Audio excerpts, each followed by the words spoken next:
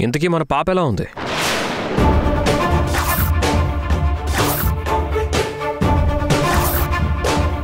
Kidnap చేశారని వెంటనే వెళ్ళి కాపాడాలని నా దగ్గర లక్షల లక్షలు తీసుకున్నావు కదా.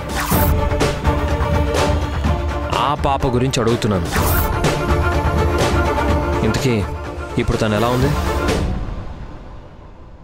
అసలు ఉంటేనే కదరా ఎలా ఉందో చెప్పడానికి.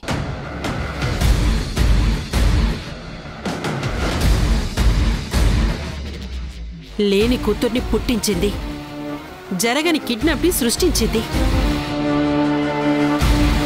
డబ్బు కోసం అంతా డ్రామా ఆడింది. ఇంకా నీకు అర్థం కావడం లేదా? డబ్బు కోసం ఇంత దిగజారాలా? నాకు నాన్న కావాలి.